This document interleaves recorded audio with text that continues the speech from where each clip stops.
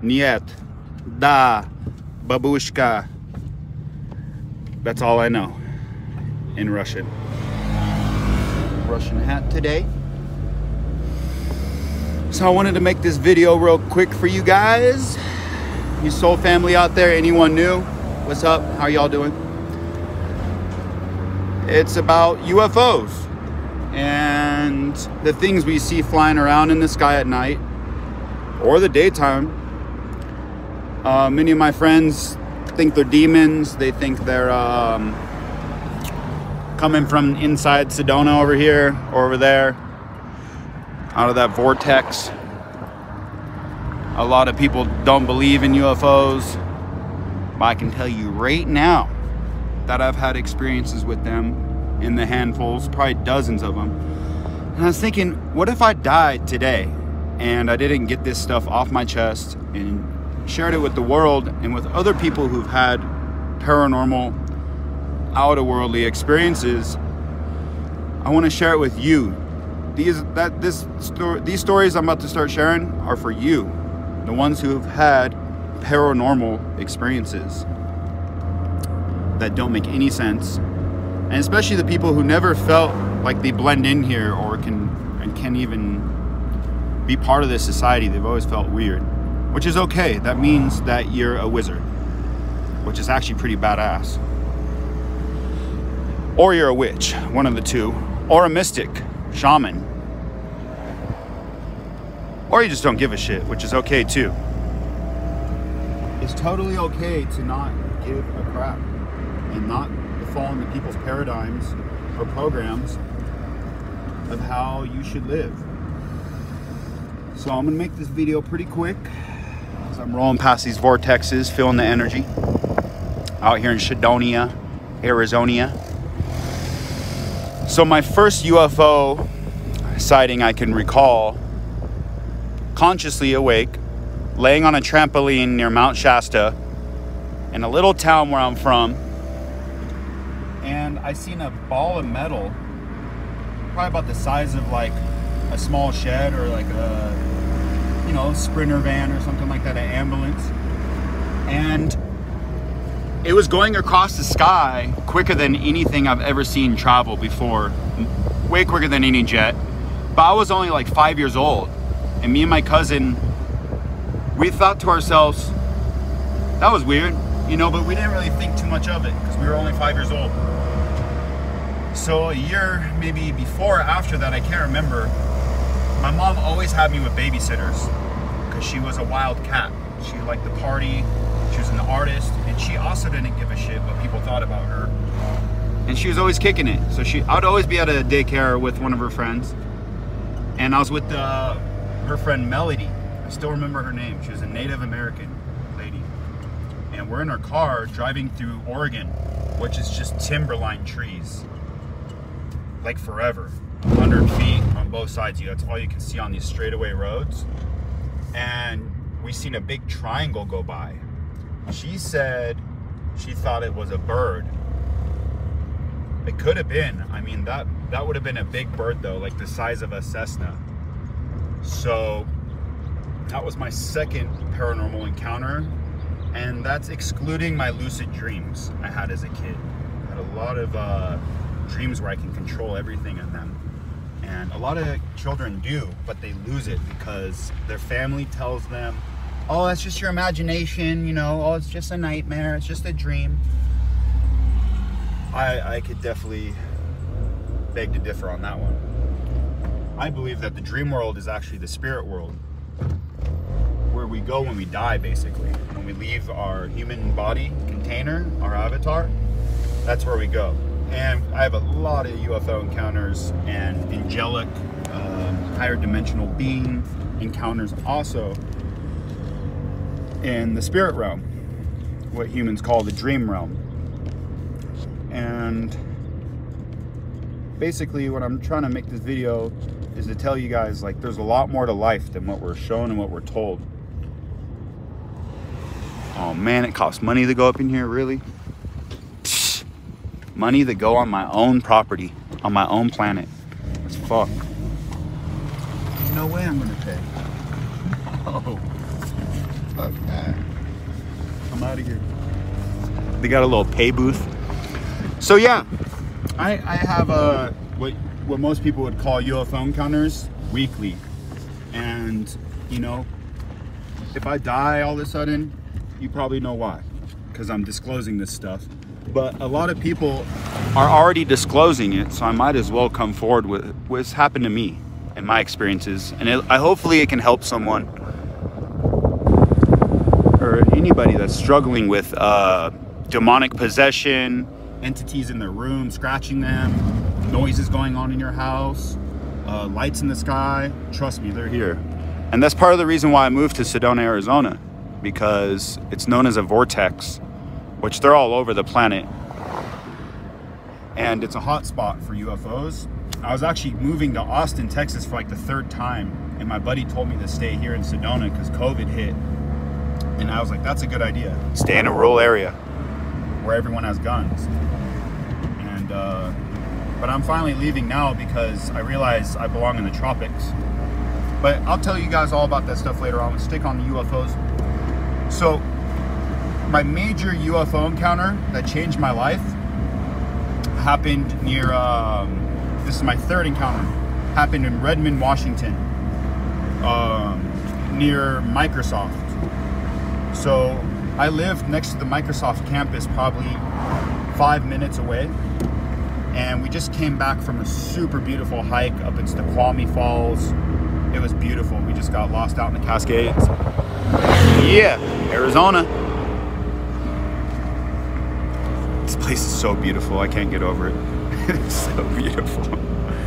And uh, anyways, so I get home, right? It's like, you know, this time of day almost, 5 p.m., summer, 6 p.m. Oh, some Canadian.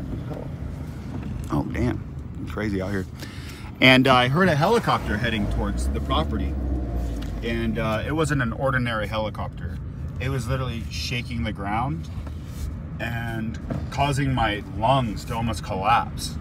Like I felt my whole, like it was that loud and that close. And I looked to where the sound was coming from. And here comes a black Apache helicopter blacked out. I've never seen one black. Um, and it was like a flat stealth bomber black. And I'm looking at it because it's probably 20 feet above the tree line. And I'm trying to see the pilot and he has 5% window tints. The limo tint. I'm like, that's crazy, that's odd. Usually you can see the little helmet guy in there. And there's two seats in Apache. They have a camera radar thing above the propellers and they have missile launchers and machine guns on the wings and all kinds of stuff on it. And it should have had blinking lights because the sun was starting to go down. And the FDA, you got to have blinking lights on your aircraft no matter what, really, and a writing on them. There was no writing on it, no blinking lights. And the only light I saw on the helicopter was a steady red light on the front. And I know what that was. I was like, that is infrared. So I'm like, what is it following? So I look in front of this helicopter, right? and there's a blue orb is what most people call it um, it looks like a ball of plasma literally like a liquid ball of light and it's just rotating inside of itself and um, that was about the size of yeah like a shed or an ambulance a big ambulance and it was floating like that it wasn't going like the, the helicopter projectile flight and then um, I looked in front of the blue orb because I saw an orange orb. And the orange orb was already halfway cloaked. So it looked like a, have you ever took an orange apart and ate one slice of the orange? That's what it looked like, half. And half of it was clear, but you could see heat, like a heat signature. And then the orange disappeared completely and it was just a ball of heat floating towards the Cascades. And that's, that's, it all happened that fast and I got a chance to actually get a witness. Um, Mike, my mechanic, one of my first mechanics when I started Cars for Trees, um, I yelled at him, I'm like, look in front of that helicopter. And he saw the ships too. And the blue orb was just pulsing beautiful, brilliant blue light. It looked like a star, literally floating right in front of a helicopter, being chased or escorted through my backyard. I thought to myself, okay, that was kind of odd it, it almost looked like it was being escorted out of town or something. or shoot out of the neighborhood, which happens a lot with the men in black. I have the black helicopters and black cars. There's a lot of crazy stuff that I'll I'll try to disclose to some of you guys. I try not to talk about it too much because I know it's like outside of me and I need to focus on my inner reality. But this stuff needs to be talked about regardless, you know. So that shook me for life, and that happened a while ago. And I've had encounters that almost blow that out of the water. Uh, I'll try to share as many of them as possible. Maybe I'll write them down so I can remember them and share them with people. So hopefully it can help you with your consciousness growth, expansion, and getting through this crazy thing that is called the Earth School life. And it, it, it's just, it's so beautiful once you realize there's way more than we're being told and we're also being lied to. And I don't need to explain to you who's lying to you or who's trying to deceive you because you probably already know. Um, energy vampires, succubuses, incubuses. Ugh, I mean, man, demons, like, yeah, they're here. They're, they're trying to suck your energy. And that's why it's so important to keep your vibration high, keep your diet clean, keep your room clean, keep your mind clean, all of it.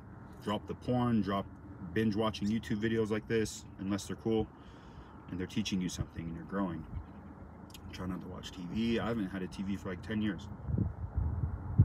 But um, yeah, that, that UFO encounter was insane. And it shakes me just sharing it with you. And if you like this, you like this kind of stuff, share it with your friends on the internet. Whoever helps it go viral, I'll send you a thousand bucks. PayPal, and you can make money just doing that. Boom. And uh, you know, if you like this kind of content, subscribe to my channel. My name is Jojo GoFlow. I go by Joe, Jojo. My friends gave me that name, and um, it stuck. And uh, if you're new to my journey here, thank you for joining and much love. And I'll share some more of that stuff with you later. I gotta go get some munchies. munchies. And that's why I live in Sedona, Arizona right now. I'm just gonna travel from Vortex to Vortex. Oh yeah, quick little bonus. Vortex is in USA. If you wanna go see a UFO tonight, um, and you live in Washington State or Oregon, you could drive up to Trout Lake, Washington, Mount Adams, because they like to go around mountains and volcanoes, these ships. Um, I don't know what the hell they are. Um, I, I can explain to you in some more videos what I think they are, what I feel they are, but it, at the end of the day, it really doesn't matter. Like, it's all inside of us. It's all inside you. All the truth. We just got to stop thinking and tap into it. But Mount Adams is great.